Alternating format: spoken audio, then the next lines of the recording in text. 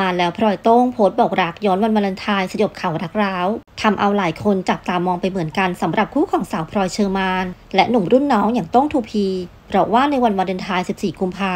ไม่เห็นทั้งคู่ออกมาโพสต์ moment ใดๆจนถูกจับตาเรื่องความรัก ว่าเอ๊ะ ยังหวานดีเหมือนเดิมอยู่หรือเปล่านะ จนล่าสุด 15 กุมภาพลอยโต้ง ก็ทำให้คำตอบเคลียร์ชัดเจนเราต่างคนก็ออกมาโพสต์หวานย้อนวันวาเลนไทน์ถึงมาช้าแต่ก็มาแล้วนะจ๊ะทุกคน โดยทางด้านพลอยเชอร์มานได้ออกมาโพสต์แคปชั่นสั้นๆ แต่บอกรักชัดเจนว่า My Valentine's and many more years to come I love you at 2P ส่วนทางด้านโต้ง 2P